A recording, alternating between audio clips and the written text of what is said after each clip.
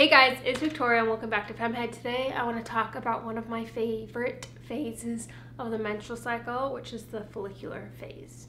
But first, really quickly, I think I should probably go over the different phases of the menstrual cycle for those of you that don't know or don't quite remember. So, first off, we have your menstrual phase, which is your period, which is the first part of your menstrual cycle. And then from there, you move into your follicular phase, which lasts up until a few days before ovulation. And that's because after that is your ovulatory phase, which lasts a few days before and a few days after ovulation. And while ovulation is a very small event within the realm of your entire cycle, it kind of gets its own phase. And then your final phase is your luteal phase, which lasts after you ovulate until the start of your next period. I could go on and on about different things that happen at different points in the different phases and all that jazz, but today I just kind of wanted to zero in on the follicular phase.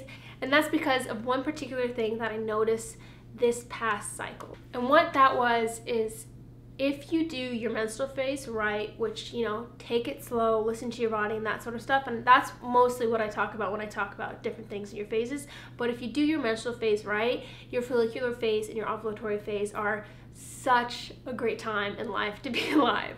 And that is because during your follicular phase and ovulatory phase, it almost feels as if you're on Adderall, or at least that's what came to mind this last particular cycle. Adderall is a drug that is used by people with ADHD to help pay attention, stay on task, focus, and more i mean there's a lot more that goes into it that and it's taken by a lot of people that don't have adhd or don't actually necessarily need to use it and they use it more as like a cognitive function drug to get stuff done when they need to kind of crack down. And i think of you know college students i think of people at work um, people that have like very stressful jobs where they have to be very in it and very productive for many, many hours and that kind of stuff. Personally, I have only ever taken Adderall twice, both times in college. I think it was like midterms or finals, probably one of those two things.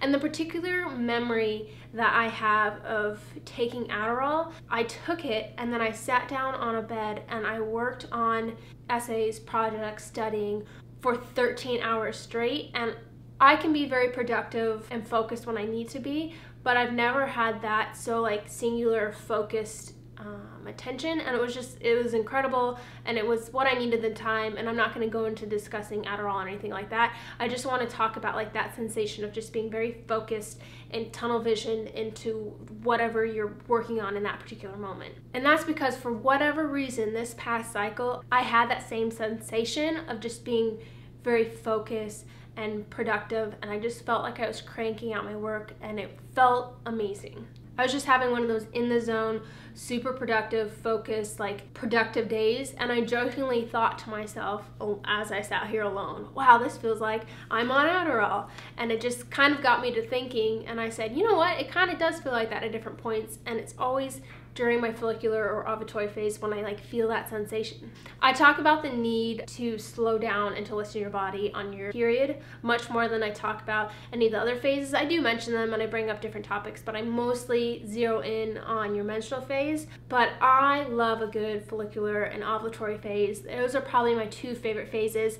I love my period and my menstrual phase for different reasons and my luteal phase for a different reason as well. But your follicular and ovulatory phase is when you can feel jazzed about life and you feel like you can take on the world. I'm able to sit down and be super focused and productive. I'm more social and I have more of a desire to get out of the house and be active. I'm better at articulating what I'm thinking and feeling. And overall, I just really feel like the best version of myself during these phases. But the trick here is this doesn't last forever and you can't push it further than where it's going to go. And it all kind of rests on this agreement that you're going to do what you're supposed to do during your period and you're going to listen to your body and you're going to take a step back, you're going to sleep more, you're going to do things slower, whatever your body needs in that particular time. If you listen to your body and you give it what it's asking for, great things are going to happen throughout the rest of your cycle. And I have definitely seen that time and time again in my cycle once learning about the different phases and, you know, kind of what happens in each. I've really noticed the differences between the four phases. And so now I'm curious, what is your favorite phase of your menstrual cycle? Um, is there one that you feel like you're struggling with, or a couple, or have you never heard about the phases before? If you're curious and you want to learn more about your cycle, I have a Chart Your Cycle course, which I do every six weeks. The next session starts on April 18th, so you want to get signed up by the 17th. And it's a great way to learn more about your cycle, learn how to tell where you are in your cycle, and it is geared towards those who want to use it as a natural birth control method, but you definitely learn so much more about yourself beyond just that when you learn about your cycle. All right, guys, that's what I have to say today. Thank you so much for watching. Don't forget to subscribe to FemmeHead for more videos like this, and I'll see you guys in my next video. Bye!